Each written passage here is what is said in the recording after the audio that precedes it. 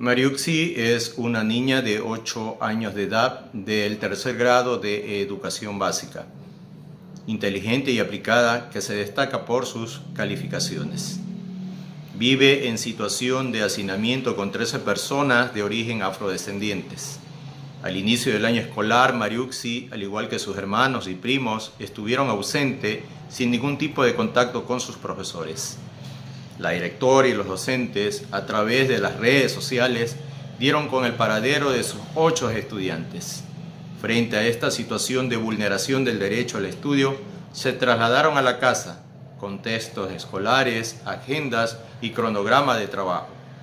Se les da acompañamiento e inclusión con un plan de trabajo que comprende visitas periódicas de las y los profesores.